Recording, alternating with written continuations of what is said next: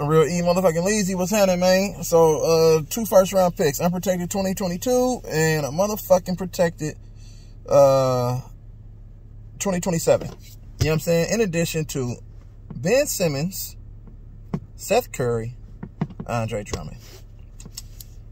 Ooh, look like, and they did all that just to get James Harden. Like, they must got some secret shit going on over there.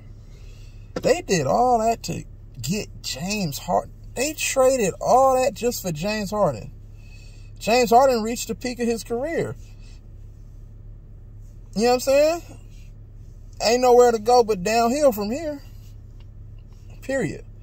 But I guess just to get, you know what I'm saying, Ben Simmons up out of there, now they can focus on basketball. Don't have to worry about all the hoopla in the background. You know what I'm saying? So, hey, we'll see, man. There's been a lot of interesting moves. Like, people just making moves left and right. But guess who didn't make a move?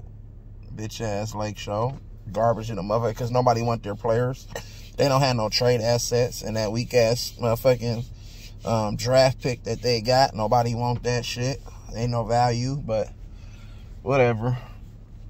But shit, the Nets instantly turn you know what I'm saying, from damn near the play-in game to damn near a top seed in the in the East. If they can get Ben Simmons, you know what I'm saying, to coexist with Kyrie and KD um, and shit. Motherfuckers, we done said all this shit about Ben Simmons, this, Ben Simmons, that. Ben Simmons is still a motherfucking super Draymond. Straight up. I think Ben Simmons is a super Draymond, bro. The shit that he can do, and he's a better finisher around the rim than Draymond. You know what I'm saying? You feel me? And you know KD and Kyrie gonna be like, nigga, you ain't coming over here, nigga, with that non-shooting ass mentality, nigga. If you got an open shot, bro, I need you to pull that trigger, nigga, straight up. And then they add size and Andre Drummond, a seven-footer. You know what I'm saying? We, know he gonna run the floor. We know he can rebound and defend. You know what I'm saying? If he, when he's locked in, shit, he was a double-double machine. Made a couple all-star teams, you feel me? So, shit, this shit got interesting. And then with the mandates being lifted in, you know what I'm saying, the state of New York, you know what I'm saying?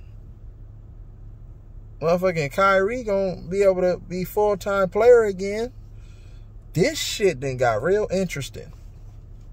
So now they've been pumping, you know, they've been pumping this motherfucking, um, they have been pumping this Brooklyn Nets know what I'm saying, winning the whole thing this year from the beginning of the season.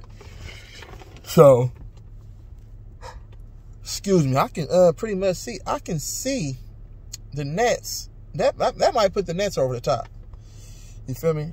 Nets might go to the finals. And I think they might go up to the finals and play the Warriors. I know Phoenix, you know what I'm saying, is the best team in the NBA right now. They went last year, but I can see the Warriors making a comeback. And I can see the storylines now. With, you know what I'm saying? KD versus Wiggins. Seth, you know what I'm saying, versus Steph. And Kyrie versus Steph. And Poole versus Seth.